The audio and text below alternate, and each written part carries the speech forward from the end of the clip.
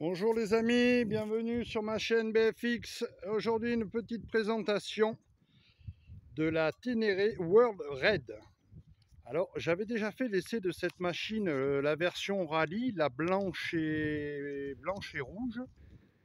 Euh, rallye c'était par rapport à son coloris, un à Krapovic et quelques modifications par rapport au modèle de base.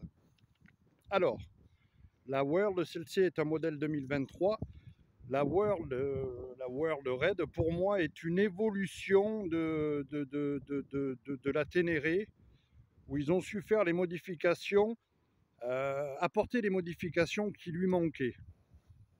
Sur le plan esthétique, ça reste toujours la même machine, avec ce, ce regard un peu décalé, mais qui fait son charme. Et les modifs apportés, c'est surtout au niveau du réservoir, ce qui est visuel, un double réservoir.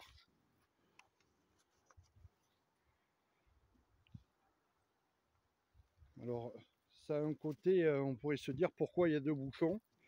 Alors, je pense que c'est, comme c'est réellement une moto pour moi qui est faite pour partir à l'aventure, je pense que si vous chutez et que vous pétez un réservoir d'un côté, vous avez toujours l'autre côté. C'est-à-dire que ça vous évite de vider les, le réservoir. Je peux me planter, mais je pars sur cette idée. Et je trouve que c'est bien quand tu pars à l'aventure. Je l'avais dit euh, sur le modèle précédent, la, la, la, la rallye que j'avais essayé, j'ai trouvé cette moto pour moi. C'est un gros enduro déguisé en trail. Pour moi, c'est la plus passe-partout, c'est la plus euh, apte à faire du, du off-road euh, euh, du off-road, mais du vrai là, pas du, pas du petit tout chemin. Je trouve que c'est vraiment l'enduro déguisé en trail.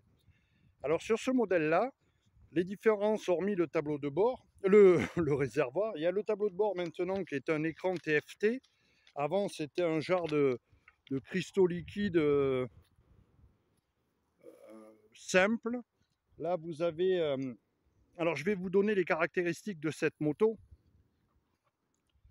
Le poids est de 220 kg, c'est légèrement en hausse par rapport au modèle de base. Logique, vous avez un plus grand réservoir. C'est toujours le même moteur qui développe un bicylindre, qui développe 74 chevaux. Le réservoir est passé à 23 litres, ce qui peut vous donner, d'après YAM, une autonomie de 500 km, ce qui est déjà énorme. Il y a un amortisseur de direction dessus par rapport au modèle de base qui peut vous éviter les guidonnages et autres.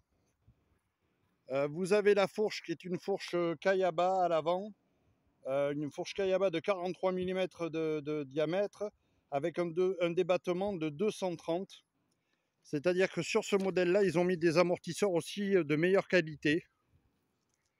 Dire que ça se ressent sur la route, je ne saurais pas vous dire. Certainement qu'en tout chemin ou en tout terrain, euh, je pense qu'il y a un léger ou un bon changement par rapport à la version de base. Euh, voilà, les suspensions. Euh, la selle aussi qui est en deux parties, c'est pas la même forme que l'autre. Sur le modèle de base, elle est en un seul tenant. Là, vous voyez qu'elle est en deux parties. Et puis, qu'ils ont apporté dessus aussi, c'est euh, une déconnexion possible de l'ABS sur trois modes. C'est-à-dire, vous avez possibilité de déconnecter, si vous voulez, euh, l'ABS entièrement, que ce soit sur les roues avant, roues arrière, seulement sur la roue arrière et garder l'ABS sur la roue avant. Voilà, il y a plusieurs modes. C'est déjà sympa. Et là, vous voyez ce tableau de bord qui est super sympa. Euh, brillant avec ce son brillant. Alors, il y a plusieurs modes avec cette petite molette. Vous pouvez aller chercher les, les menus, euh, je crois qu'on peut le connecter, il est connectable.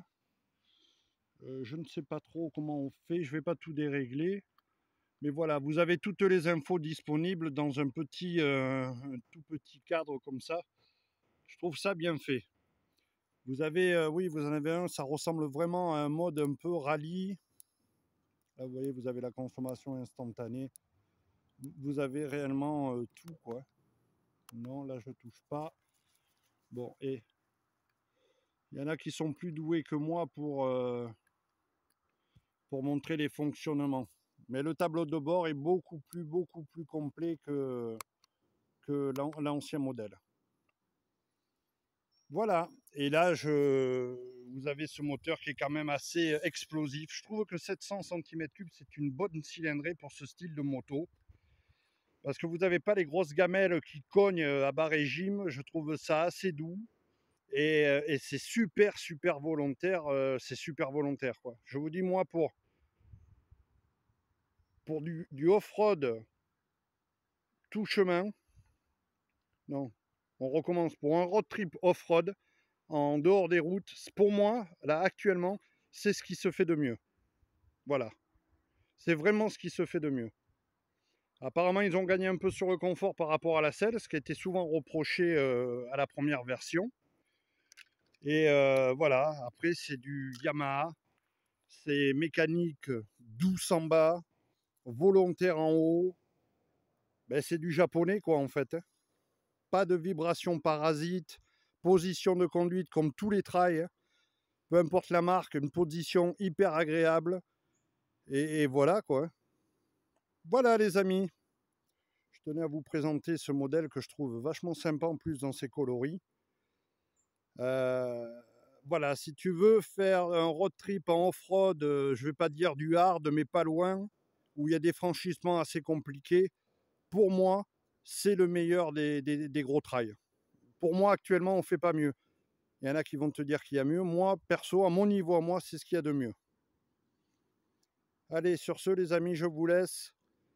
Merci aux gens qui s'abonnent. Euh, n'hésitez pas à liker, c'est le petit pouce bleu. À vous abonner, c'est gratuit. Et je recommence avec ça.